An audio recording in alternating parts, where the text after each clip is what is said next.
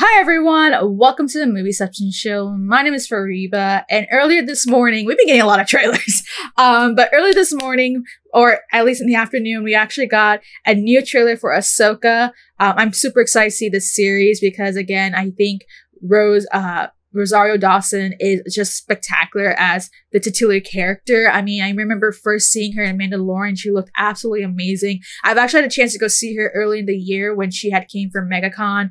And now, like, here it is. We're getting closer and closer to Ahsoka. I think we're just about a month away, a month and a half away from Ahsoka, right? So yeah, I mean, we got the first footage about it like a couple months ago. Definitely seemed very promising. I mean, we got a hint of Admiral Thrawn. We know so much about what's going to be happening right there. I still have yet to finish up with Rebels and a Clone Wars, but I hope to get those done ASAP. But yeah, no, I'm super excited to see this whole series. And we now got a new trailer. Hopefully, I mean, it's going to be a far longer one. So hopefully we'll see more of Admiral Thrawn in this whole trailer as well as other snippets of where this story is going to go. But yeah, without further ado, without further ado, let's get right down into the new trailer for Ahsoka. War is inevitable. One must destroy in order to create. Ooh, seems pretty grim. We are no Jedi. Oh. I started hearing whispers. of Whispers. Thrawn's return as heir to the Empire. What happens when we find Thrawn? Power. Such as you've never dreamed. Dang, that, that footage still I've spent never most gets of my life fighting a war. That's why I'm trying to convince you to help me prevent another one. You and I both know who could help you with this. She's still just as stubborn as ever. I bet your master found you difficult at times. Anakin never got to finish my training. I walked away from him, just like I walked away from Sabine. You never made things easy for me, That Anakin reference. master. Master. As a Jedi, Interesting. Sometimes you have to make the decision no one else can. But I'm counting on you to see this through. Nice haircut.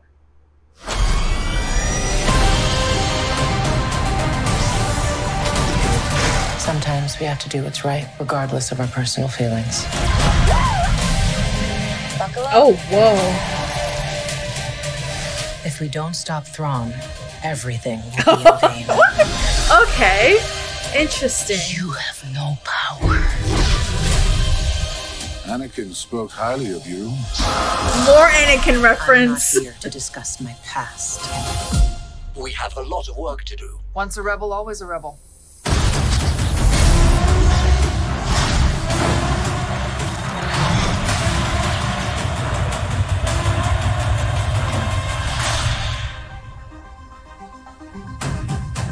Oh, two episodes. Wow. Okay.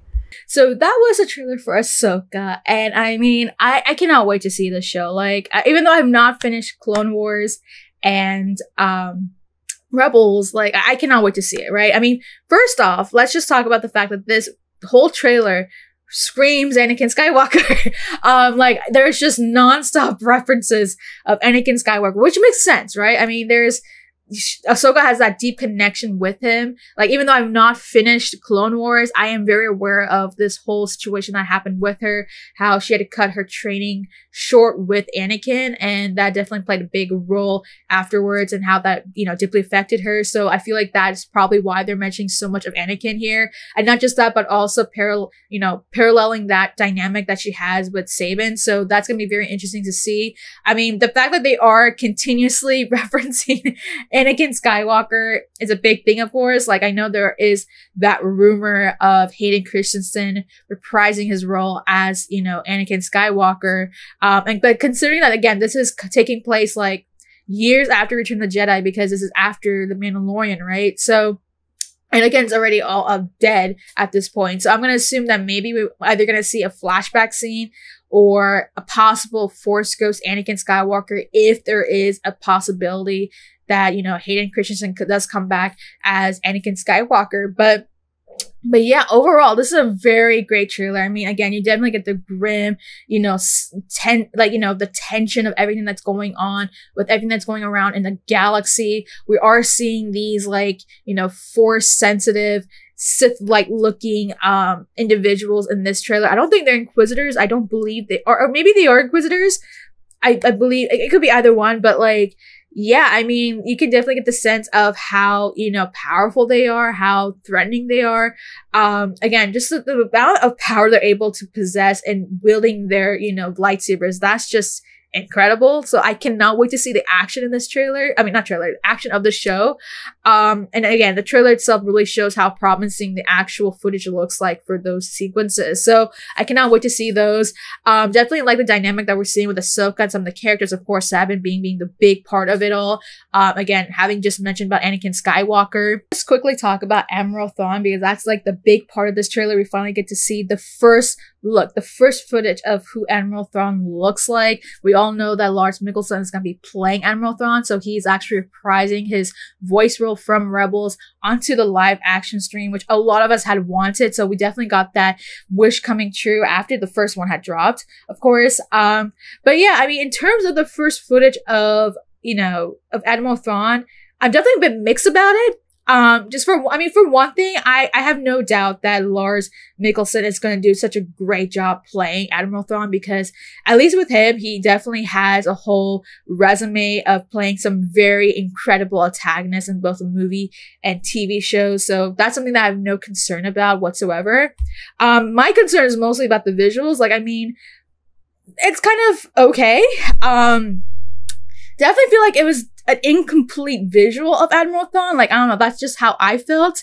Um, maybe that's just me. Maybe, again, I think perhaps they are still kind of finishing off the kinks of his visuals with the visual effects and all that sort of stuff. So that's probably the whole case with this one as well. Like, hopefully it'll kind of be fixed by the time the show comes out. But I think that's definitely kind of the one thing that I feel a bit, uh, off put about because, like, Lars looks great. I just feel like maybe the blending of the character, like the actual visual, the facial visual of it needs to be worked out, or at least needs to be a bit more complete. So that was just the only thing I have like any criticism about it. Like, I mean, again, I'm excited to see Admiral Thrawn whatsoever. And I mean, again, I'm hoping that he's going to become a big player. Like, I mean, there are a lot of rumors that he's going to be the big bad for, you know, the Mandalorian, or at least setting up the last few, you know, content of the Mandalorian story. So we'll see how that all works out. Like that was something that, again that they had talked about I believe back in Celebration or something like that, where,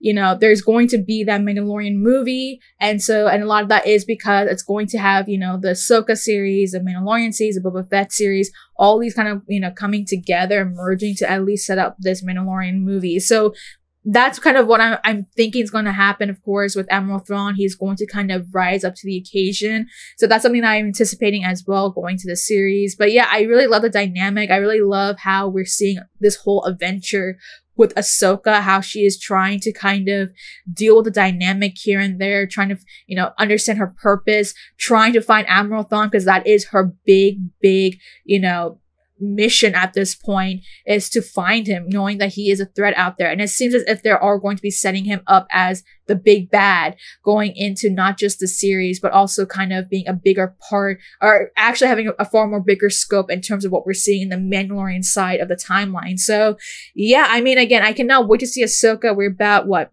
a month and a half away from seeing Ahsoka. We're getting two episodes, of course, so that's a big thing as well. So I am super excited to see Ahsoka as well. Hopefully by then I'll be cut up with Rebels and Clone Wars. But yeah, that's all to say about the, you know, the new trailer for Ahsoka.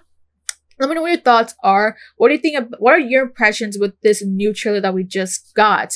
What do you think about the number of Anakin references? Like, what do you think how does this imply in terms of the rumors that we've been hearing about, you know, a possible Hayden Christensen appearance in this whole series? And if there is going to be, how will they actually play that out, knowing that, you know, he's technically dead, you know, at this point in the timeline?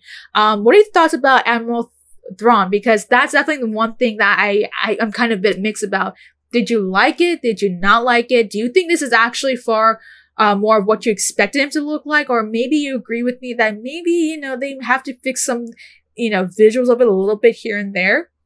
And let me know about any other thoughts you have about this trailer, especially in terms of the dynamics, um, the mission, the stakes of it all. Let me know in the comments down below and make sure to like and subscribe.